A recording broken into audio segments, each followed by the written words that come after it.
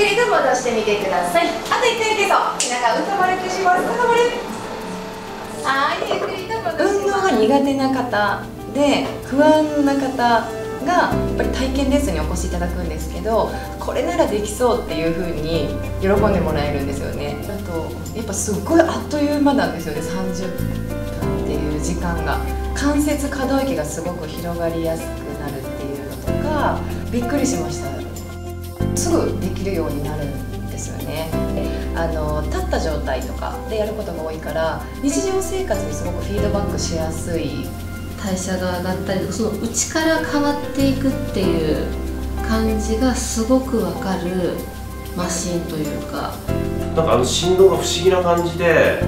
なんかただ揺れてるだけではなくてなんか本当なんていうんですかね体のな中からなんか効いてる感がした汗かかないんですよ私普段。全く。30分で。あすっごい汗をかいて。もうまず朝起きた時と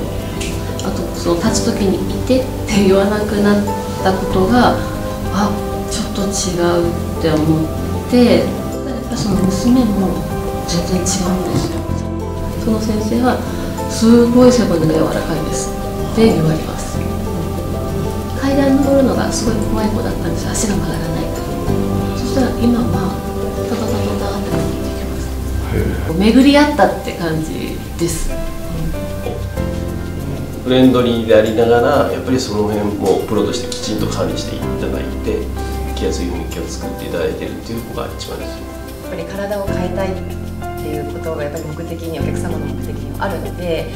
その目的に対してパワープレートとして何ができるかなっていうことをいつも考えてレッスンを進めてます。なんか自分のスキルはすごく上が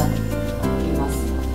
なんかうんってなった時に自分でその場所をすぐ見つけて修正してあお客様が「あ分かりました」っていうのに30秒って時間しかないんです。今うちのパワープレートを担当してるインストラクターはもうこの半年1年ぐらいでぐっと